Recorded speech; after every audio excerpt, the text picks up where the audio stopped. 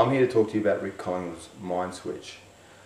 Just recently, after nine years of retirement, I came back to fight eight world champions in a tournament. And in two weeks, I had to lose 15 kilos.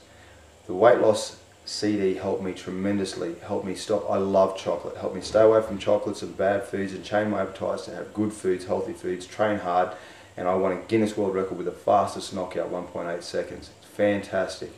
Now, with I found with the CDs, the greatest thing about it is people are looking for an easy way to lose weight. This is an easy way to lose weight because it helps you change your appetite. All of a sudden, good foods seem uh,